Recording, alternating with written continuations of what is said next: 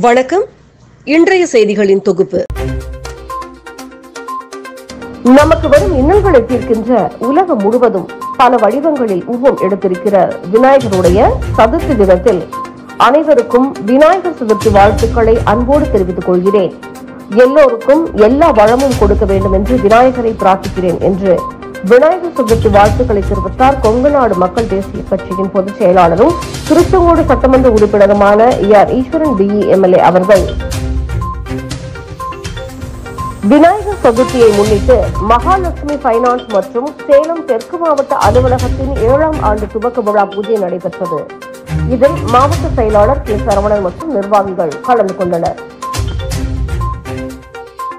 Cobra திரைப்படத்தில் முதல் நாள் முதல் காட்சியை பார்த்த நடிகர் விக்ரம் மற்றும் துரு விக்ரம்.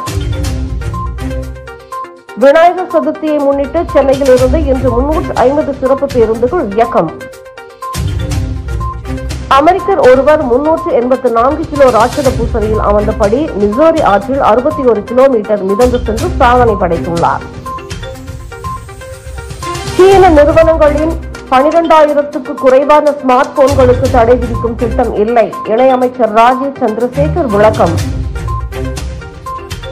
அதிநவீன சொகுசு கார்கள் உற்பத்தியில் முன்னணி நிறுவனமான பிஎம்டபிள்யூ குழுமத்தின் ஹைபிரிட் மின்சார வாகனங்களுக்கு பொறியியல் தொழில்நுட்பம் மற்றும் ஆராய்ச்சி பணிகளை மேற்கொள்ள எல்என்டி நிறுவனம் ஐந்து ஆண்டுகளுக்கான பல மில்லியன் டாலர் மதிப்புள்ள ஒப்பந்தத்தை பெற்றுள்ளது. விநாயகர் சதுர்த்திக்கு வாழ்த்து தெரிவித்த ஆஸ்திரேலிய கிரிக்கெட் வீரர் டேவிட் வார்னர். ஆசிய கோப்பை கிரிக்கெட்டில் ஹாங்காங் அணியுடன் மோதுகிறது இந்தியா. தன் கையிருப்பில் இருந்து பதினைந்து லட்சம் டன் கொண்டை கடலையை கொள்முதல் விலையை விட கிலோவுக்கு எட்டு ரூபாய் குறைத்து மாநிலங்களுக்கு விநியோகம் செய்ய ஒன்றிய அரசு திட்டம்.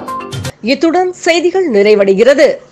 மேலும் இது போன்ற செய்திகளுக்கு கேஎம்டிகே லைவ் சேனலை லைக் பண்ணுங்க ஷேர் பண்ணுங்க சப்ஸ்கிரைப் பண்ணுங்க.